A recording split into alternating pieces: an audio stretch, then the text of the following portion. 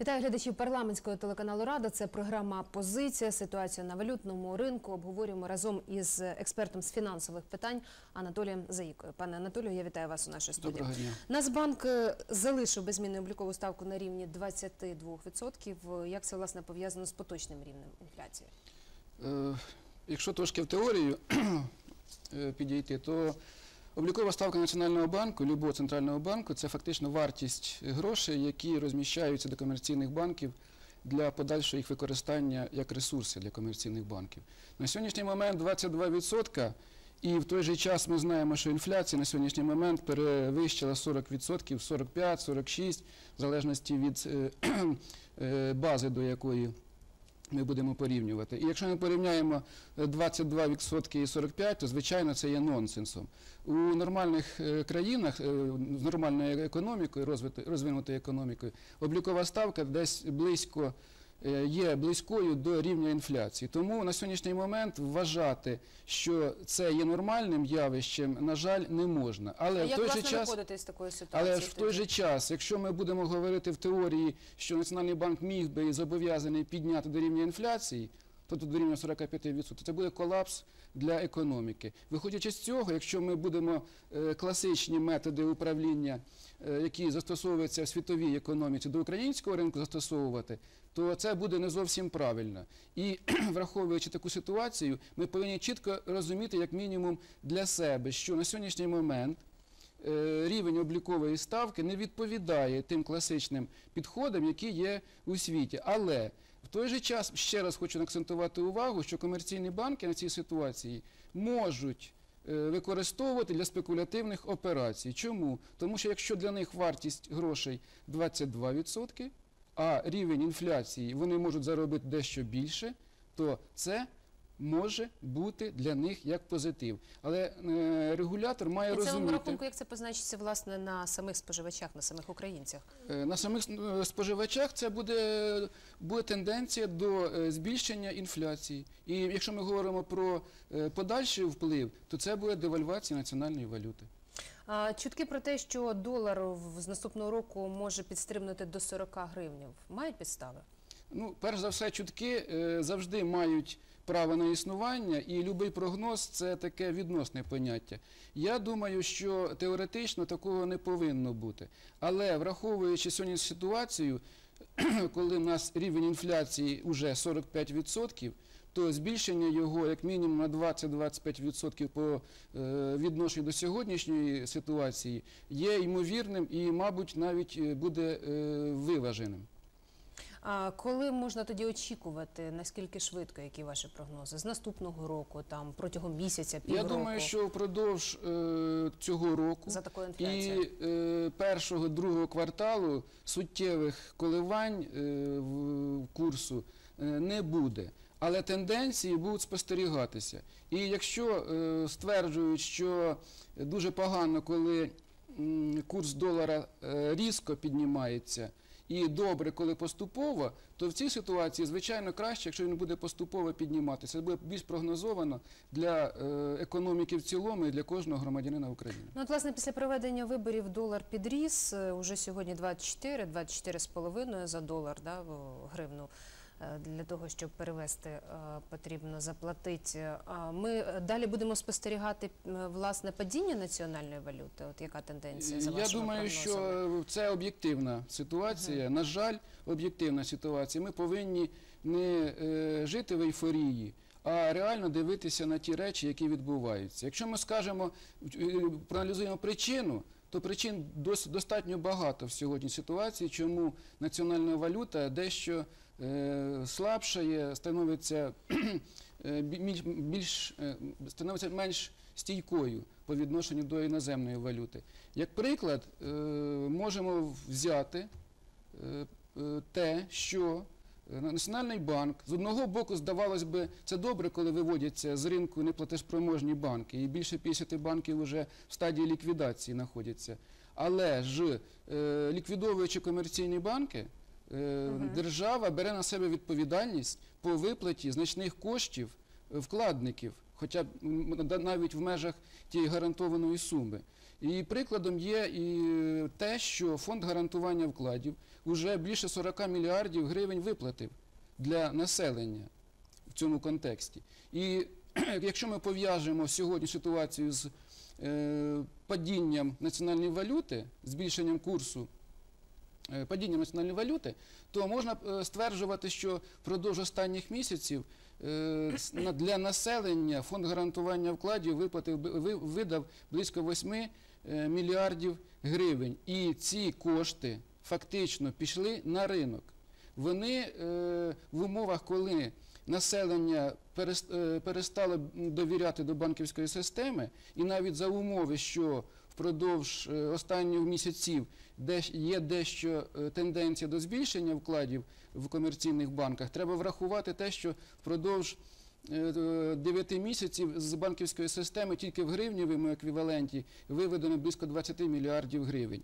І таким чином ми говоримо, що 2 мільярда, 3 мільярда е, є приріст вкладів, але ж враховуючи те, що 8-9 мільярдів видано коштів фондом гарантування вкладів, оця різниця, куди вона могла піти? Вона так е, один із е, ймовірних напрямків, куди, е, валю, гривня спрямувалась, це на валютний ринок. Вона таким чином тисне і є реальні підстави для е, Тобто це одна із головних курсу. власне причин? Не можна сказати, що це одна з А як головних впливає політична стабільність чи нестабільність в країні? Е, В сьогоднішніх умовах е, політична стабільність чи нестабільність може впливати тільки виключно на е, ажіотажний попит.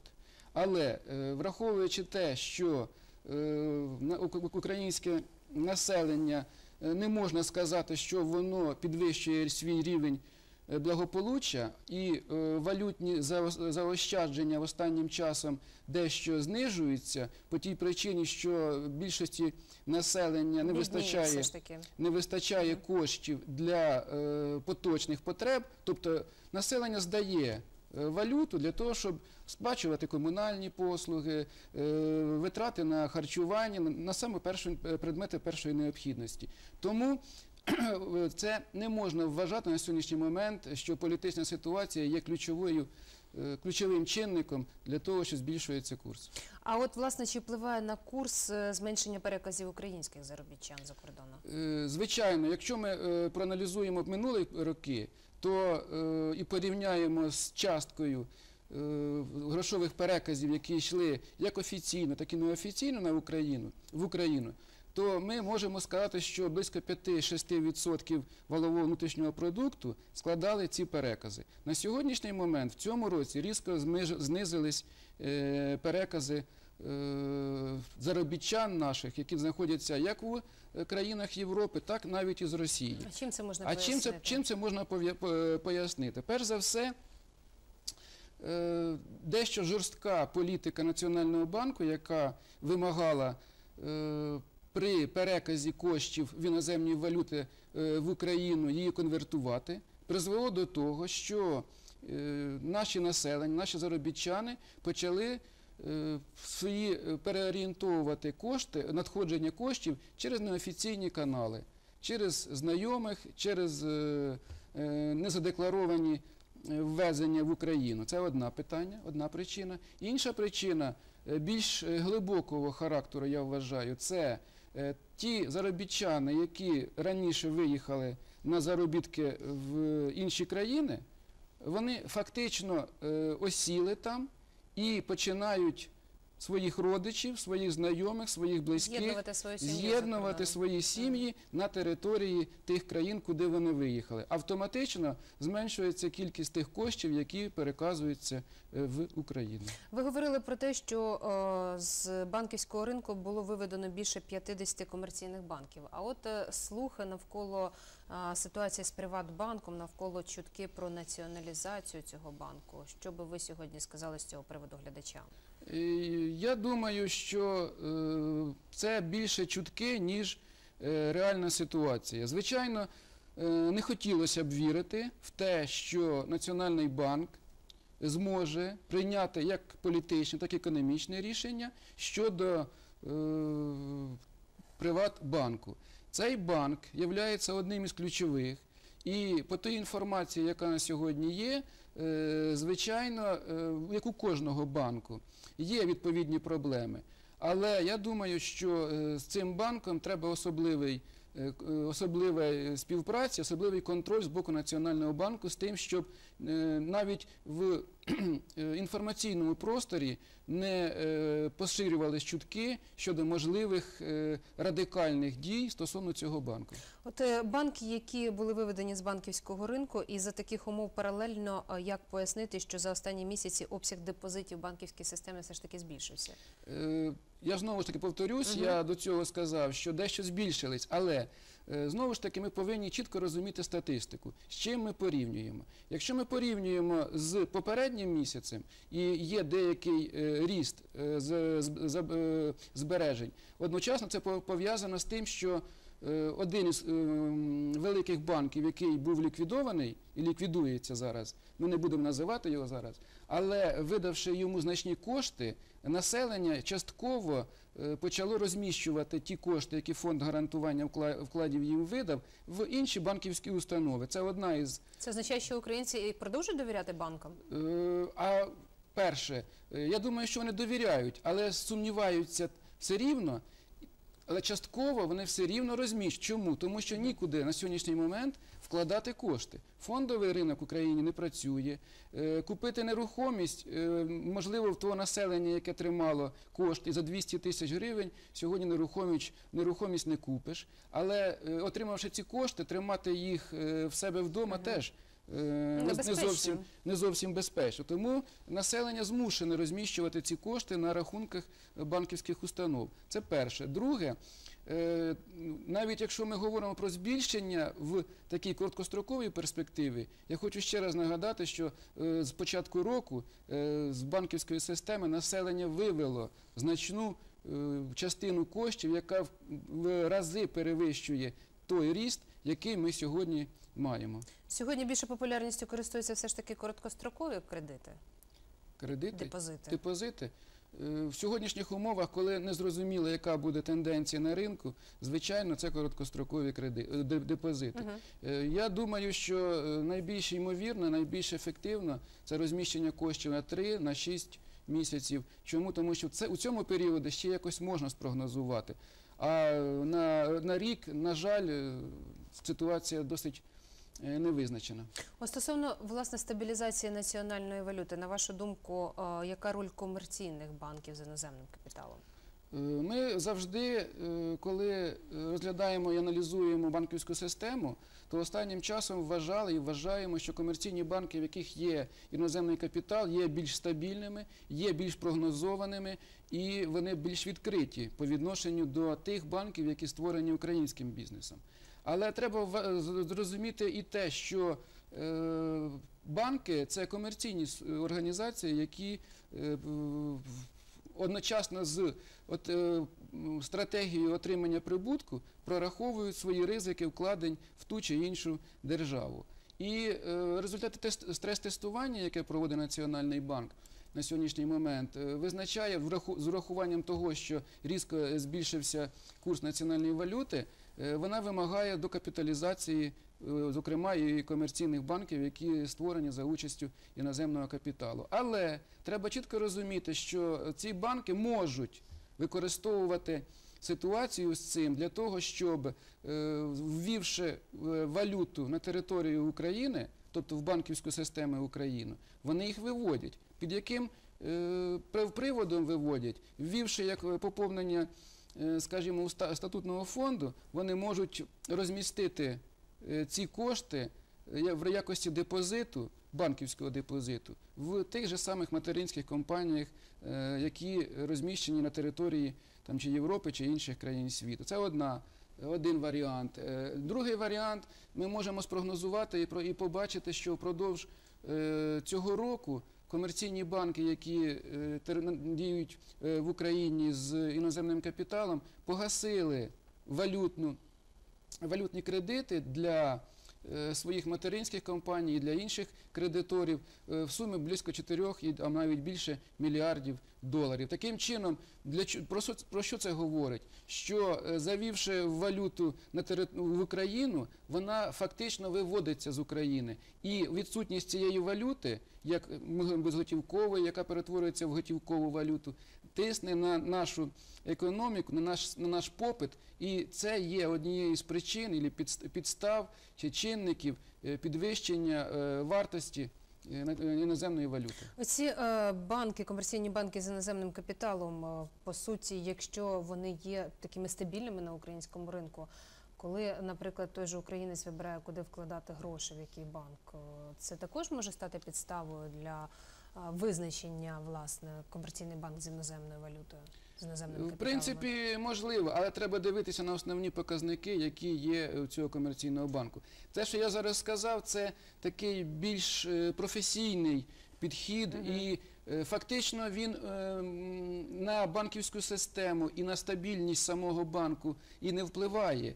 Але він впливає, оці схеми, оці механізми е, е, роботи чи співпраці з валютою, е, впливає на валютний ринок український, тобто на кількість валюти, яка знаходиться в Україні. І таким чином, чи впливає він на попит, чи є в населення можливість купити цю іноземну валюту в Україні, чи немає. А от, власне, так. на вашу думку, як на здоров'я української гривні впливають відносини України та Міжнародного валютного фонду? Е, суттєво впливають на е, наші відносини. Чому? Е, Тому що, перш за все, Міжнародний валютний фонд і Україна в процесі співпраці і позитивної співпраці дає сигнал для інших кредиторів.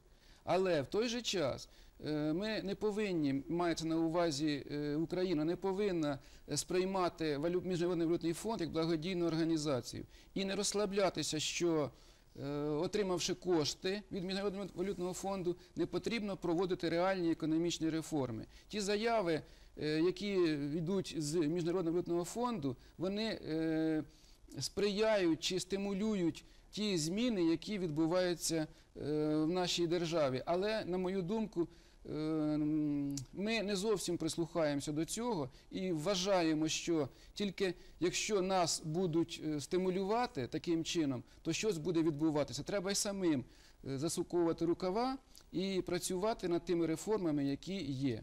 Україна має отримати черговий транш МВФ. От, власне, на вашу думку, яким чином вплинуть, отримаємо ми чи ні?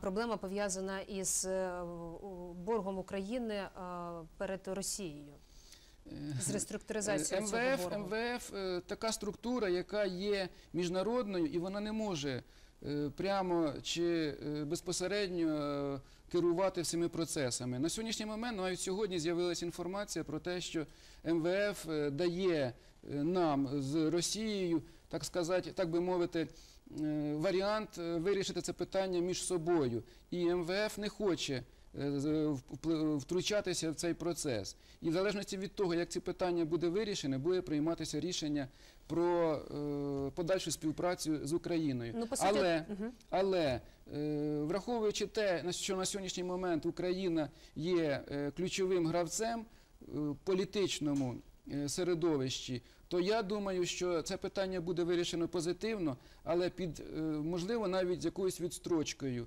В той же час е, не, не, не треба е, нам вважати, що ми любою ціною отримуємо ці кошти. Знову ж таки, хочу сказати, що е, вимоги Міжнародного валютного фонду щодо проведення реальних економічних реформ е, залишаються наразі е, основними. І е, знову ж таки, ми зобов'язані не тільки прислухатися і робити реальні кроки для їх проведення в Україні. Ну і остання інформація.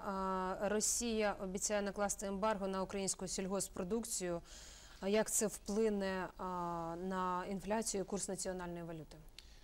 Перш за все, е, різко знизилась е, обсяг торгівлі е, з Російською Федерацією вже впродовж двох років. І на сьогоднішній момент, е, за деякими прогнозами, в цьому році е, тільки сільгоспродукції ми зможемо е, експортувати в Росію не більше 250-300 мільйонів доларів. Але 250-300 мільйонів доларів фактично ми недоотримаємо в якості ресурсу валютного, скажімо, на наступний рік як мінімум. Тому знову ж таки ринок недоотримає в такому обсязі валюти. Що робити далі? Треба йти і шукати нові ринки. І в цій ситуації е, ті заяви, які сьогодні звучать щодо готовності України до цього, е, мені здається, е, ми готові на сьогоднішній момент е, порахувати збитки, те, що було озвучено сьогодні і вчора.